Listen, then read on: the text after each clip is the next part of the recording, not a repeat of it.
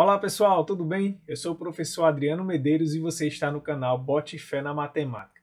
Então estou trazendo aqui agora a prova que foi aplicada pela banca Consulplan no concurso da Prefeitura Municipal de Macaíba, a prova que aconteceu na parte da tarde, a de nível superior, tá bom? Especificamente aqui, só para vocês é, se localizarem, essa prova aqui foi a prova que foi aplicada para psicólogo tipo 1 branca, tá bom? Então é essa sequência aí das questões, apesar que se você fez também ensino superior, né, só vai mudar aí eventualmente a ordem das questões das que a gente vai comentar aqui, né? Então fica ligadinho aí para você entender, né, cada questão, a gente poder analisar juntos aqui se alguma questão é passível, né, de solicitar mudança de gabarito ou anulação, né? Então vamos também ver isso nessa nossa aula. Você também que vai submeter né, a, a, a prova no próximo final de semana também serve para você estudar aí, tá bom? Então vamos lá. Olha só, eu até considero é, o nível né, da prova que foi aplicada para ensino superior pela manhã foi um nível maior do que essa da tarde, certo? Essa aqui da, da tarde, apesar que tem algumas questões que queiram, tem que tomar um pouquinho mais de cuidado, mas em geral eu achei essa aqui um nível mais baixo do que a que foi aplicada na parte da manhã, tá bom? Então, vamos aqui, né, sem mais delongas, vamos começar aqui a nossa resolução e também já começa agradecendo aí a vocês que assistiram aí os outros vídeos, né, que eu já coloquei de resolução das provas. Ainda vou colocar de agente administrativo, né? Vocês não sabem como motiva a gente trazer esse, esse serviço para vocês quando a gente vê que o trabalho que a gente coloca, vocês estão assistindo, né? Comentando, né? Deixando seu like, se inscrevendo no canal. Isso é o combustível que nos alimenta, né? Trazer aqui sempre material de qualidade, porque vocês podem ter certeza. Uma coisa que o professor gosta demais é ter gente interessada naquilo que ele está falando, naquilo que ele está ensinando. Então isso alegra muito meu coração poder ajudar vocês e desde já, meu muito obrigado, né, por você que deixa seu like aí no vídeo, que se inscreve no canal e que compartilha com seus amigos, tá bom? Vamos lá, olha só, pessoal. Então, a primeira questão, ela fala o seguinte, ó. É, os estudantes de uma turma do ensino médio foram questionados sobre qual a área de atuação do curso pretendem, pretendem fazer na faculdade. Observou-se que um terço do total dos estudantes é, pretende fazer um curso na área de exatas, tá certo? Então, eu vou anotando aqui, ó, um terço do total dos estudantes, tá certo? Então, um terço do total, eu, eu vou chamar o número total de estudantes de T, tá? Eles vão para a área de exatas, tá? É, e a quarta parte do total pretendem fazer o curso na área de humanas. Então, um quarto do total vão fazer humanas, tá? Além disso, os cursos da área, é, da área de biológicas foram escolhidos por 35, pelos 35 estudantes restantes. Então, 35 pediram a, a parte de a área de biológicas, tá? Sabendo que cada estudante optou por uma única área de atuação, quantos estudantes pretendem fazer um curso da área de exatas? Né? Então ele quer saber é, que valor é esse aqui. Quantos pretendem fazer da área de exatas? Mas para a gente fazer isso aí, a gente tem que fazer é, saber o total de estudantes, né? Olha só, pessoal, uma forma bem simples da gente fazer isso aqui sempre que você trabalhar com frações, é você deixar elas no mesmo denominador, tá bom? Então, quando você faz isso, deixar elas no mesmo denominador, fica mais fácil, por quê? Porque a fração que vai ficar resultante para o que faltar é só o complementar para que a divisão dê igual a 1. Como assim, professor? Vou explicar melhor. Olha só, percebe que aqui tem um terço de t e aqui tem um quarto de t fica difícil da gente comparar essas frações porque elas estão com denominadores diferentes. Então eu vou colocar elas com denominadores iguais. Como é que a gente faz, professor? Você pode tirar, por exemplo, o MMC entre 3 e 4.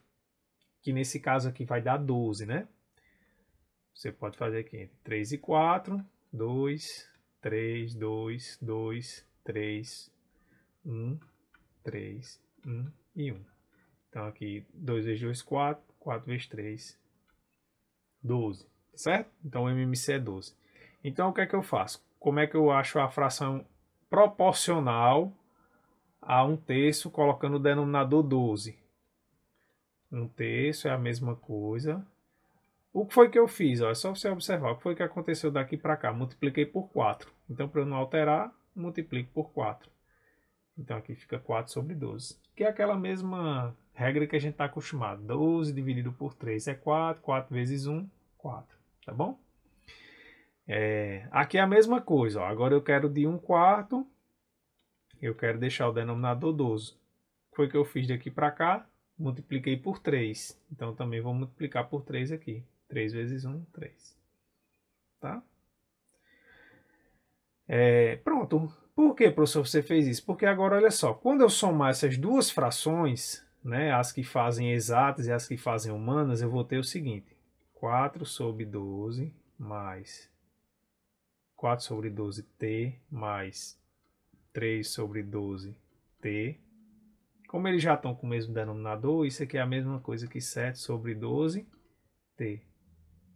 Ora, o total, né, ó, quando eu estou trabalhando com fração, é sempre quando essa fração dá 1. Então, se eu já tenho ó, 7, de 12 eu já tenho 7. Então, quer dizer que esse aqui equivale a quanto? A 5 sobre 12 de t. Tá certo? Por quê? Porque essa soma aqui, quando eu somar esse cara com esse aqui, isso aqui tem que dar só T, tá bom? Então, por isso que a gente faz. E isso aqui a gente sabe que é 35. Pronto. Agora é só fazer aqui, ó, meios pelos extremos. T é igual a 35 vezes 12 dividido por 5. Mas eu posso simplificar 35 por 5, né? Que dá 7. Então, 7 vezes 12 dá igual a colocar aqui, 7 vezes 2, 14, vai 1, 7 e 1, 8, 84. Então, isso é o número total de estudantes. Lembra, eu quero de exatas. Então, se eu quero de exatas, é só chegar aqui e fazer é, um terço vezes 84. Ou seja, dividir 84 por 3, né? Então, dividindo 84 por 3, a gente vai obter o quê? É, 8 dividido por 3 vai dar 2. Baixa 2. 8. 28. Tá bom? Então a alternativa correta aqui, letra B de bola. Tá bom, pessoal? Então, essa daí era de fração, né? Tem, tinha que tomar só esse cuidadozinho aqui de deixar no mesmo denominador para poder fazer a comparação correta. Vamos para a próxima questão. Bem, a questão de número 12, que é uma questão de sequência lógica. Né? Ele fala, ó, a sequência de números a seguir representa a quantidade de itens produzidos em milhares por uma indústria em, em cada hora de operação. Tá? Considerando que essa sequência possui uma regra lógica de formação, qual a quantidade dos itens em milhares produzidas na 12 hora de operação dessa indústria? Então aqui a gente tem 1, 2, 3, 4, 5, 6, 7, 8, 9. Então vamos lá. 10, 11, 12. Então a gente quer na 12 hora, né? Saber aqui qual é o termo. Bem, então aqui a gente tem que identificar qual é a lógica da, da sequência. Ó, se você observar, o que é está acontecendo daqui para cá? Estou somando 2. Daqui para cá, o que é está acontecendo? Estou somando 2. Daqui para cá, o que é que aconteceu? Caiu pela metade, não foi? Cair pela metade é a operação. Dividir por 2, não é? Aí observe ó, que daqui para cá, o que, é que aconteceu? Somou 2. Daqui para cá, voltou a somar 2.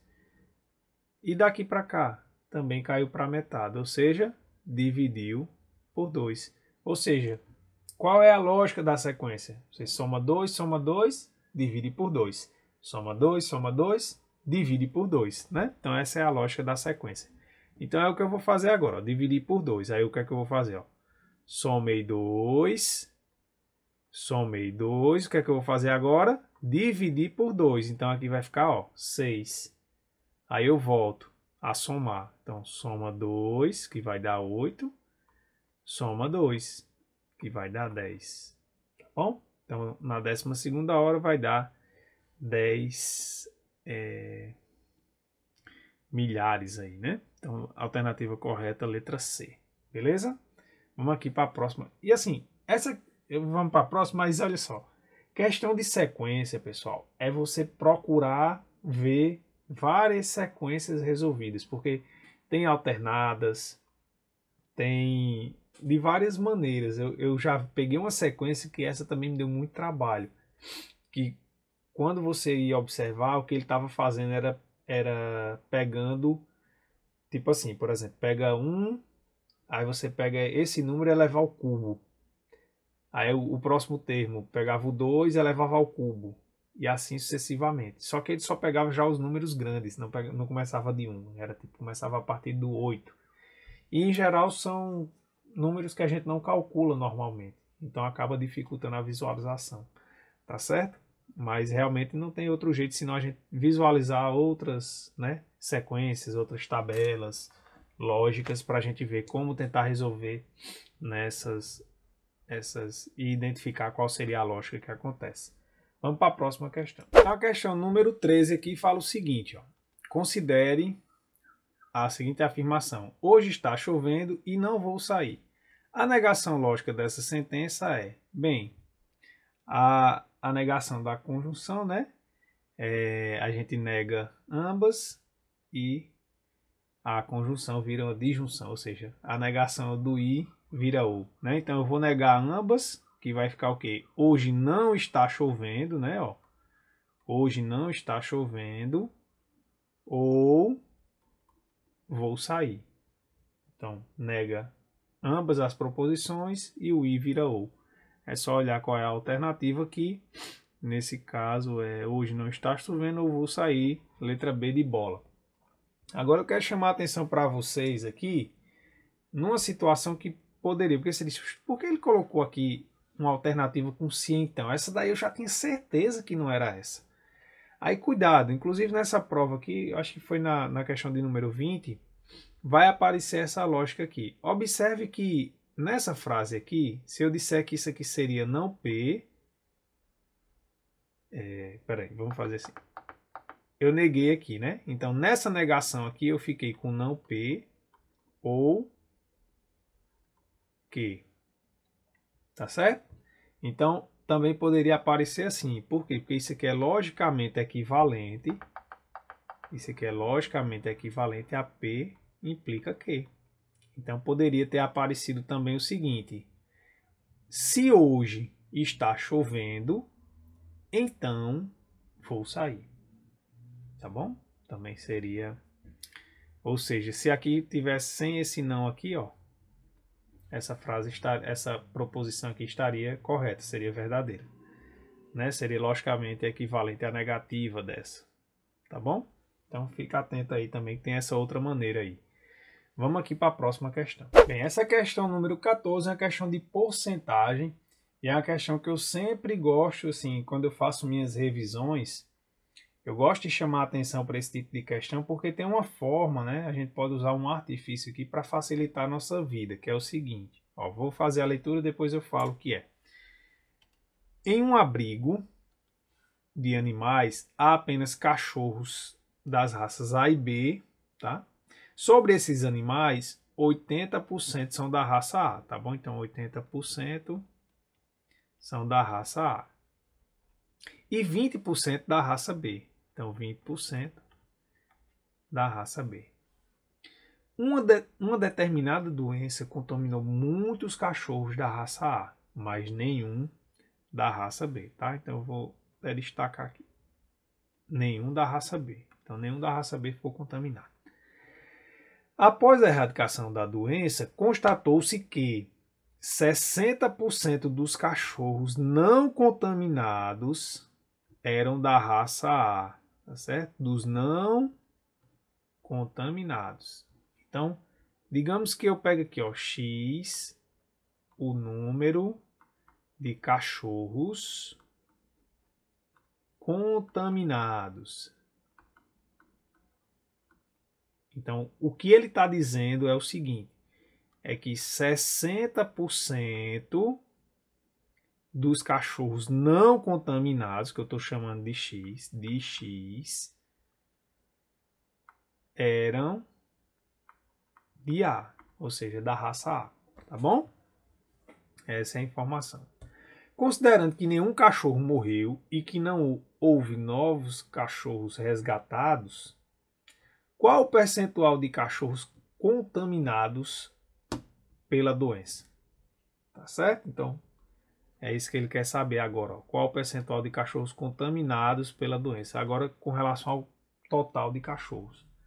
Bem, observe, pessoal, que toda informação que ele dá aqui na questão é em forma de porcentagem. E também ele pede para a gente uma porcentagem. Sempre que isso acontecer, o que é que a gente pode fazer para facilitar a nossa vida? A gente pode dizer quanto é o total de cachorros, um total de cachorros qualquer. Porque isso não vai influenciar a porcentagem, só vai facilitar nossa, nosso entendimento e nossos cálculos. Olha só, para facilitar, eu vou dizer que a gente tinha 100 cachorros. Por que, professor Adriano, você está dizendo 100? Porque 80% de 100 é justamente 80 cachorros. Esse é o motivo do porquê eu estou colocando 100 cachorros. 20% da raça B também são 20 cachorros, né? Porque lembra, 20% de 100 é 20 sobre 100 vezes 100. Então 100 simplifica com 100, por isso que dá o 20. Tá certo? Então, isso facilita bastante a nossa vida nesse tipo de problemas. Vocês vão ver como vai ficar mais simples aqui da gente entender. Então, olha só. Aí vamos ver o que é que agora a gente pode é, tirar disso, né? Bem, aí ele falou, né, que após a erradicação da doença, constatou-se que 60% dos cachorros não contaminados eram da raça A. Ora, Vamos pensar aqui. Observe que eu sei, e aí eu destaquei aqui, né, ó, em amarelo, que nenhum da raça B foi contaminado. Tá bom? Então, se 60% dos não contaminados eram da raça A, quantos eram da raça B? 40%, concordam comigo? Então, 40% de X era da raça B, porque nenhum da raça B foi contaminado. Pronto, e quantos são? Quantos cachorros são na, na raça B? 20. Então quer dizer que 40% de x, que é 40 sobre 100, de x, o d vira uma multiplicação, isso aqui é igual a 20. Pronto. Você pode até simplificar já aqui, ó, o 0 com 0, e aí fica, passa o 100 multiplicando e o 4 dividindo. Então, x é igual 100 vezes 2 dá 200, dividido por 4. 20 dividido por 4 é 5, isso aqui vai dar 50. Ou seja, isso está dizendo para a gente que 50 cachorros não foram contaminados. Foi isso que a gente encontrou. 50 não foram contaminados. Só que eu já tenho 20 aqui. Então, quantos cachorros de A que não foram contaminados? 30 não foram contaminados, né? Não foram. Tá certo? Então 30 não foram de A. Pronto. Mas só que ele pergunta o percentual de cachorros contaminados. Ora, se 30 não foram de A e o total de A era 80, então 80 menos 30, isso aqui dá 50 cachorros de A que foram contaminados. Aí de novo. Mas o professor Maio quer a porcentagem, não tem nenhum problema, porque é 50 cachorros com relação ao total. Como eu estou dizendo que o total é 100, então 50 equivale a 50%. Tá bom? Então a alternativa correta aqui, letra D. Ou se você quiser, você fazia, né? 50 sobre 100, que é assim que a gente acha a porcentagem. Ora, 50 sobre 100 é justamente 50%. Tá bom, pessoal? Então fica aí essa dica. Quando aparecer ah, professor, só vale para porcentagem essa dica que você falou? Não, às vezes tem questões que envolvem só frações, que ela aparece nesse mesmo estilo aqui. Só aparecem as frações e não aparece nenhuma quantidade real, nenhum dado real de quantos tem. Aí você pode também atribuir um valor ao total só para facilitar os seus cálculos, tá bom? Porque no fim das contas você só quer saber uma fração, quanto é a fração. Beleza, então vamos aqui para a próxima questão. Então a questão de número 15 aqui é uma questão de teoria do conjunto, mas bem simples a resolução, olha só. É, o administrador de determinada empresa pretende ofertar um curso de qualificação para seus funcionários e realizou uma pesquisa questionando a preferência pela realização do curso na quinta e ou sexta-feira da próxima semana. O resultado da pesquisa encontra-se na seguinte tabela. Apenas na quinta, 25, eu vou colocar aqui só para facilitar, aqui sexta e aqui quinta. Tá? Então, apenas na quinta-feira. Quando ele fala apenas, é o valor que está aqui, ó, nessa parte aqui. Deixa eu destacar aqui para vocês. É essa parte aqui, né? Ele fala apenas quinta-feira. É essa parte aqui que eu destaquei. É, quinta-feira, quando ele fala quinta-feira, aí sim ele está considerando o conjunto como um todo, inclusive a interseção.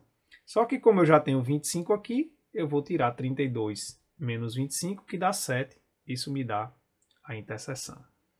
Sexta-feira, 37. Ora, se eu quero saber só sexta-feira, é só eu fazer 37 menos 7, que vai dar 30, né? Pronto, aí com base nessas informações, o número de funcionários que optou pela realização do curso apenas na sexta-feira, a gente já calculou aqui, é 30, beleza? A alternativa correta aqui, letra C de coração. Vamos para a próxima questão. A questão de número 16 aqui, mais uma questão aqui, né, com figuras para a gente identificar aqui uma lógica. E aí ele fala o seguinte, né, ó, é, considere que no esquema lógico a seguir falta uma figura que é o completa. Então, esse quadrado está para esse, assim como esse está para... Bem, se a gente observar, o, o padrão que está acontecendo é o seguinte, né? Ó, onde era branco aqui, ficou preto.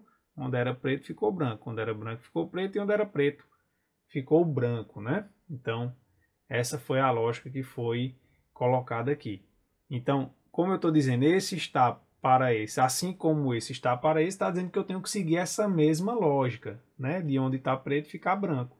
Aí, bem, não dá para a gente visualizar aqui, mas de fato o que acontece é que aqui eu tenho um outro quadradinho aqui, ó. Né? É porque esse outro quadradinho também está preto. Né? E aí por isso que a gente não consegue diferenciar o preto desse quadrado maior para o preto desse quadradinho menor. Né? Então, onde está preto vira branco. Então, se a gente olhar aí, ó, a borda vai ficar preta, que seria essa, tá vendo?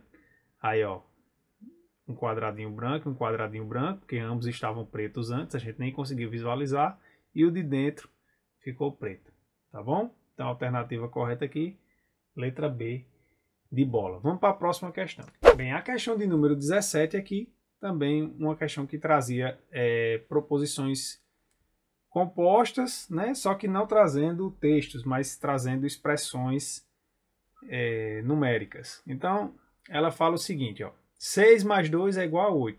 Isso aqui é verdade, né? Se somente se raiz de 2 é maior do que 2. Ó, raiz de 4 é 2, não é? Raiz, de, raiz quadrada de 4 é 2. Raiz de 5 é uma coisa que é maior do que raiz quadrada de 4. Então, isso aqui também é verdadeiro. Professor, e o se somente se? Lembra, o se somente se, pessoal, ele nada mais é, ó, P, se somente se que ele nada mais é do que é. Isso é logicamente equivalente a P implica que e que implica P. Né? Então, ou seja, ele é uma condicional indo e uma condicional voltando. Então, ele só vai ser falso se a gente formar Vera Fischer, né? É, indo e voltando. Né? Se der Vera Fischer indo, por exemplo, se der Vera Fischer indo, aqui seria falso. Como aqui é um i, tudo daria falso. Se desse Vera Fischer voltando, aqui seria falso. Então tudo seria falso, tá certo? Então basta que aconteça Vera Fischer de um dos dois lados para o si somente si ser falso. Como ambos deu verdadeiro, então a sentença é verdadeira. Agora, menos 5 maior que zero, isso aqui é falso. Só que como eu estou com uma condicional, só vai ser falso a condicional se eu formar Vera Fischer. Aqui é verdadeiro, eu não formei Vera Fischer, né? Ficou VF, então a condicional é verdadeira. Por último, eu tenho o OU. Pi, a gente é aproximadamente 3,14, né? Então isso aqui seria falso. Só que eu tenho um OU. 4 mais 3 é diferente de 6? É, 4 mais 3 é diferente de 6. Então, isso aqui é verdadeiro. Como é um OU, a sentença toda ela é verdadeira. Né? Porque o OU basta que ao menos uma das sentenças seja verdadeiras para que o OU como um todo seja verdadeiro. O I é ao contrário. Né? O I basta que uma seja falsa para ambas serem, para a proposição toda como, como um todo seja falsa. Né? Então as três são verdadeiras, alternativa correta aqui, letra A, tá bom? Vamos para a próxima questão. A questão de número 18 aqui, mais uma questão é, envolvendo teoria de conjunto, tá certo? Ela fala o seguinte, ó. Em um grupo com 32 estudantes, o número daqueles que jogam vôlei representa o triplo do número de estudantes que apenas jogam basquete, tá? Ou apenas, vamos destacar aqui o apenas, apenas jogam basquete. Além disso, sabe-se que a metade dos estudantes desse grupo não praticam nenhum desses dois esportes. Nesse contexto, a porcentagem dos estudantes do grupo que jogam apenas basquete é. Pronto, olha só. Então ele falou que o número total é 32. Então vou colocar aqui, ó, vôlei. E vou colocar aqui basquete, tá bom? Olha só, mas ele disse que tinha, é, ele tinha que, ele falou que 16, é a metade, né, que é 16, não, não curte nenhum dos dois. Então, se a gente for montar totalmente o diagrama de Venn, a gente tem que fica 16 aqui fora, dos 32 no total, né? Não participa nem de vôlei, nem de basquete. Não praticam nenhum dos dois. Então, vôlei mais basquete juntando tudo, obrigatoriamente vai dar quanto? 16, tá certo? Que é o que está sobrando. Só que aí ele falou uma relação. Ele diz que o número dos que jogam vôlei ele é igual a três vezes os que fazem só basquete, tá? Aqui só basquete. E o que quer dizer isso, professor Adriano? Quer dizer o seguinte, ó, se eu colocar B para ser os que jogam só basquete, só basquete lembra, é isso aqui, né? Ó. É esse pedacinho só aqui que eu coloquei de vermelho. E os que fazem vôlei, professor Adriano? Ó, os que fazem vôlei é isso que está aqui, ó, em azul todinho. Então, os que fazem vôlei é quanto? 3B, né? Vou colocar aqui, ó, 3B. Tá certo? A priori está envolvendo aí também a interseção.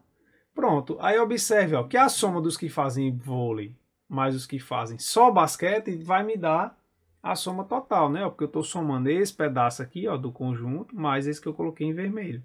Então esse total vai dar 16, ou seja, 3B mais B, isso aqui é igual a 16, que é a metade que pratica o esporte. Né? Então 4B é igual a 16, passo B dividindo, 16 dividido por 4, B é igual a 4. Você só tem que lembrar o seguinte, né? Que esse B que eu chamei aqui é os que fazem só basquete. Beleza? Que é justamente o que eu quero. Ó. Nesse contexto, a porcentagem dos estudantes do grupo que jogam apenas basquete é. Pronto. Então eu precisaria saber o número dos que jogam apenas basquete. A gente encontrou 4. A diferença aqui para saber a porcentagem é que é, é com relação ao, ao total de estudantes do grupo, né? ou seja, com relação aos 32. Então, para a gente saber a porcentagem, tem duas maneiras. Eu posso fazer usando regra de 3, né? que é 32, isso aqui é 100%. 4 equivale a x. Então, 32x é igual a 4 vezes 100, que é 400 x é igual a 400 dividido por 32, tá bom? Então vamos fazer aqui essa divisão aqui, 400 dividido por 32, dá por 1, menos, sobra 8, né? Baixa o zero aqui, vai dar por 2, que vai dar aqui 64, né? Então, aqui vai dar 6, vem 1, 1, 16. Não dá para dividir, né? Que é menor. Então, o que é que eu faço? Coloco 0 e vírgula. E agora aqui vai dar um 5. 5 vezes 32 dá exatamente 160. Resto 0. Então, dá 12,5%. Tá? Alternativa correta, letra A. Ou simplesmente, quando você quer saber a porcentagem, você chega, você também pode colocar só simplesmente o que é que você quer com relação a quem. Ah, quer saber quanto equivale os que só jogam basquete com relação ao grupo total. É só fazer essa divisão aqui. Eu vou encontrar o resultado em número decimal. Depois é só multiplicar e dividir por 100. E aí eu chego também na alternativa da porcentagem, tá bom? Então é uma outra forma que você pode fazer se não quiser usar a regra de 3, beleza? Vamos aqui para a próxima questão. E a próxima questão aqui, né, também a gente tem que encontrar uma lógica aqui sobre a sequência das palavras. Fala o seguinte, ó. Convidada por sua professora, uma criança escreveu as seguintes palavras no quadro: lanchar, cinto, pronto. Considerando que essas sequências de palavras escritas pela criança têm uma regra lógica de formação, dentre as palavras relacionadas, qual poderia ser a próxima palavra escrita no quadro? Bem, é, eu até confesso que eu não gosto muito dessas questões, porque às vezes é uma lógica que a gente não consegue enxergar lá na hora, né? Quando é a questão é, de lógica proposicional, né, ou uma questão de teoria de conjunto, a gente vai trabalhando e vai conseguindo fazer. Aqui a gente tem que identificar a lógica, né? Olha só. Então, de cara, né, quando eu vi aqui, a gente observa que o número de letras está aumentando, né? Então, foi a primeira coisa que eu pensei. É, você vê que aqui tem duas, aqui tem três. Aí aqui tem 5, aqui tem 6. Então você observa assim, que tipo, é como se a cada duas fosse uma sequência, né? Um, é, duas, três, aí pula uma, 5, 6, pularia uma, 7 e 8. Se tivesse aqui, beleza, seria essa a sequência, mas não tem nenhuma é, palavra com oito letras, né? Então não é essa sequência. E aí então eu retornei. Aí fui contar o número de vogais. Ó, mais o número de vogais fica 1, 1, 2, 2, 2, 2 também. Então, a próxima seria o quê? Com 3. Então, com 3 poderia ser limão ou poderia ser moletom, né? Com três vogais. Bem, eu observaria o seguinte, ah, moletom, porque o número de letras também está crescendo. Só que moletom não cresce na mesma lógica que essas crescem, né? que seria essa que eu já falei inicialmente. Então, por isso que não, não é essa. Então, eu vou contar o número de consoantes. Aí, consoantes, ele está aumentando. Ó. Lã tem uma consoante, chá tem duas, cinto tem três, pronto, tem quatro.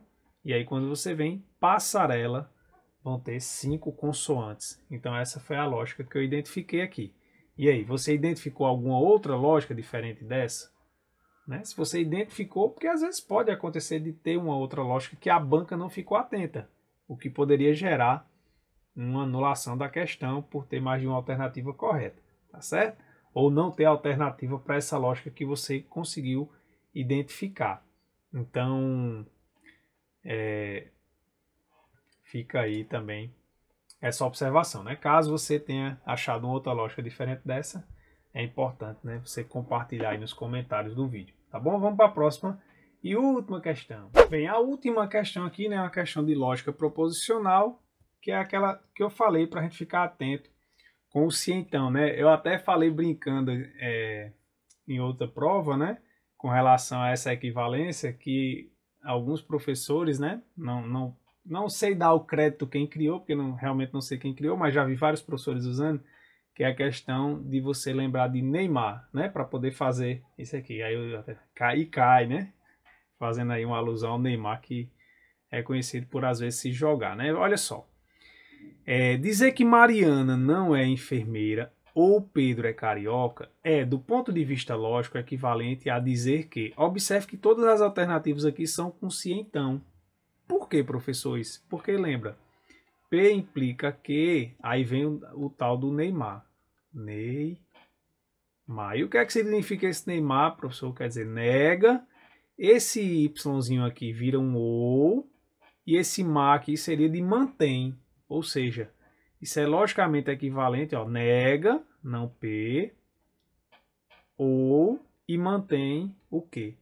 Então isso aqui é logicamente equivalente, certo? P implica que é logicamente equivalente. Aí se você observar aqui, ó, eu tenho Mariana não é enfermeira. Então eu vou dizer que isso aqui é não P. Mariana não é enfermeira. Aí, ó, o Pedro é carioca. Que.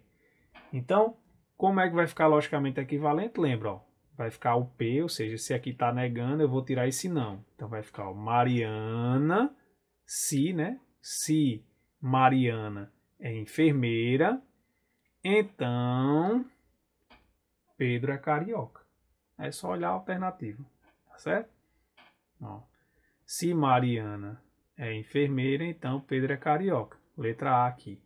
Só que eu ainda vou dar uma última dica aqui para vocês, que é o seguinte: poderia aparecer diferente, que é o que ele ensaiou aqui na alternativa B. Por quê? Porque P implica que também é logicamente equivalente a não que implica não P, né? que é a contrapositiva. Então poderia ter aparecido também dessa maneira, ou seja, como é que estaria correto também, professor? Estaria correto também, se usando aqui né, essa equivalência, se Pedro não é carioca, não é carioca, então aí coloca não Pedro do mesmo jeito aqui, ó. Mariana não é enfermeira. Mariana não é enfermeira. Então poderia aparecer assim. Por que eu estou destacando isso? Porque observe, a banca vai aplicar uma prova no próximo final de semana para vocês, ela tem que inventar alguma questão diferente. Então é importante a gente conhecer todas as formas né, que a gente pode encontrar de equivalência, para caso lá na hora da prova a banca coloque, a gente saiba é, como responder. Tá bom, pessoal? Então, espero que vocês tenham gostado. É, qualquer dúvida, né, pode deixar aí nos comentários que eu terei maior prazer em ajudar. Então, forte abraço, fiquem com Deus e até a próxima.